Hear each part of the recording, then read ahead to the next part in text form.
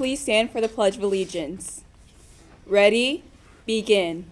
I pledge allegiance to the flag of the United States of America and to the republic for which it stands, one nation, under God, indivisible, with liberty and justice for all.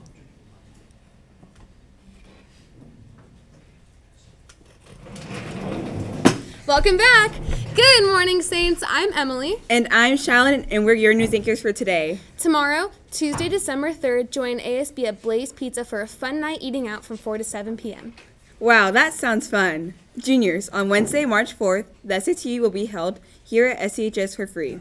In order to do so, you must bring your permission slip to Mrs. Viginati in the office by December 11th. Football players, your season bank will be, will be held this Wednesday, December 4th at Hillcrest in La Verne. Players cost $25 and family members cost 30. Remember, get your tickets soon because space is limited. This Wednesday, December 4th, counselors and Chromebooks will be in the Media Center to help out anyone with college applications. If you are in need of a Christmas tree, contact a fellow wrestler on the boys' wrestling team. Cost is only $45. And now on to our sportscasters with our daily sports news.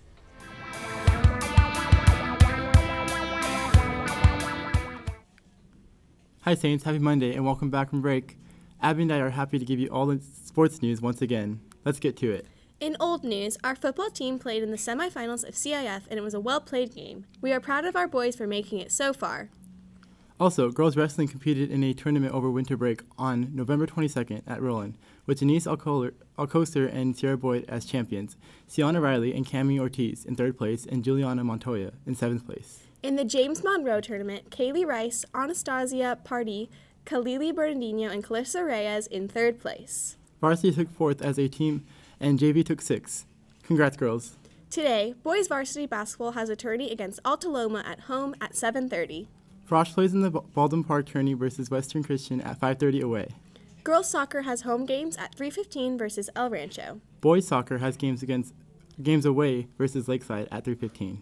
Tomorrow is our girls' water polo game against Bonita away, so let's make sure to come and support our Saints. That's all for today. See you tomorrow. Go Saints.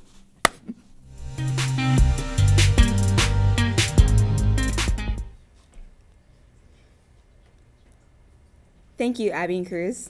I think that's all for today, Saints. And remember, have a sick week.